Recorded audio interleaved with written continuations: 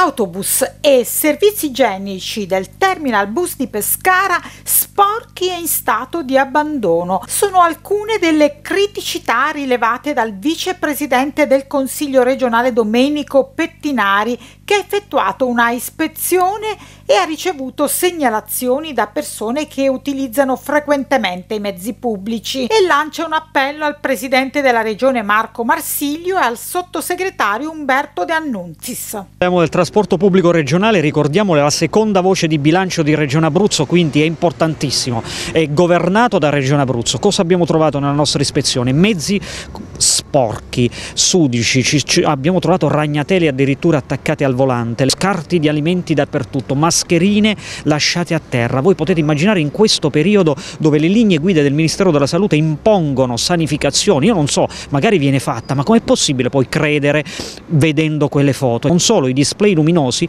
che indicano il numero, spesso sono sbiaditi, non si leggono e eh, a volte non, ci, non, non funzionano proprio e quindi scrivono a mano il numero e potete immaginare il disagio per un'utenza anziana che non riesce a leggere il numero. Andiamo avanti, abbiamo ancora mezzi che escono con le spie rosse accese, si sfasciano spesso e lasciano gli utenti a terra. Dal 2020 non vengono stampati più i libricini delle informazioni per gli orari, quindi l'utenza anziana che non può andare su internet, non sa che ora partono, arrivano i pullman, stalli degli autobus dove devono parcheggiare all'area risulta completamente sbiaditi, a volte inesistenti, quindi il mezzo ogni volta parcheggia in uno stallo diverso. È un disagio pazzesco sia per l'autista che per l'utenza, non solo i privati occupano gli stalli pubblici, abbiamo una situazione veramente raccapricciante all'interno dei servizi igienici, dei bagni della stazione, abbiamo foto che non si possono guardare, sporchi, c'è di tutto, escrementi anche a terra, abbiamo visto manca carta, la, la carta diverse volte, tutte queste cose sono state segnalate ripetutamente, ma ma non, non, siamo arrivati a una soluzione. In questo momento, nel mentre tua, sta assorbendo le tratte commerciali della Sangritana, tratte commerciali che hanno re registrato una perdita di milioni di euro